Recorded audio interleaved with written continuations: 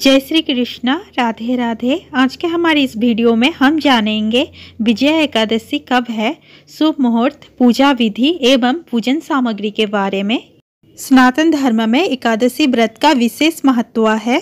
प्रत्येक महीने में आने वाली एकादशी तिथि का अलग अलग महत्व है।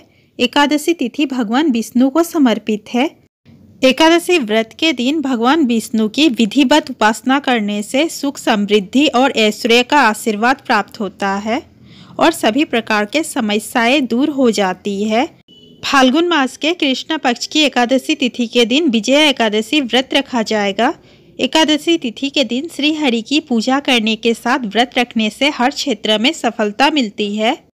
यह व्रत एकादशी पर सूर्य उदय से शुरू होकर अगले दिन द्वादशी तिथि पर सूर्य उदय के बाद समाप्त होता है। आइए आप जानते हैं विजय एकादशी के शुभ मुहूर्त। पंचांग के अनुसार फाल्गुन मास के कृष्ण पक्ष की एकादशी तिथि 6 मार्च की सुबह छः बजकर तीस मिनट पर शुरू होगी और 7 मार्च की सुबह चार बजकर तेरह मिनट पर समाप्त हो जाएगी। विजय एकादशी व्रत 6 मार्च 2024 बुधवार के दिन रखा जाएगा। इस दिन भगवान विष्णु की पूजा करने के लिए शुभ समय सुबह छः बजकर इकतालीस मिनट से सुबह नौ बजकर सैंतीस मिनट तक रहेगा। विजय एकादशी व्रत का पारण 7 मार्च दोपहर एक बजकर चवालीस मिनट से शाम चार बजकर पाँच मिनट के बीच किया जाएगा। आइए आप जानते हैं एकादशी व्रत की पूजा विधि।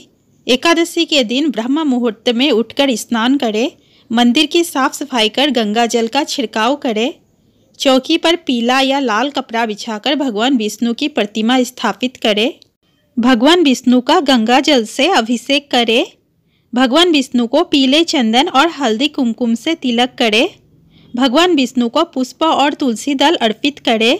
अगर संभव हो तो इस दिन व्रत भी रखें, भगवान विष्णु को भोग लगाएँ भगवान विष्णु की आरती करें।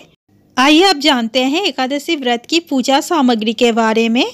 एकादशी व्रत की पूजन सामग्री में श्री विष्णु जी का चित्र, अथवा मूर्ति, पुष्प, नारियल, सुपारी, फल, लौंग, धूप, दीप, घी, पंचामित अच्छत तुलसी दल, चंदन, मिष्ठान, पीले वस्त्र, माला, मोली, कुमकुम, हल्दी आदि सामग्री की प्रयोजन होती है। दोस्तों, वीडियो अच्छा लगा हो तो प्लीज़ वीडियो को लाइक, शेयर और चैनल को सब्सक्राइब करना ना भूलें।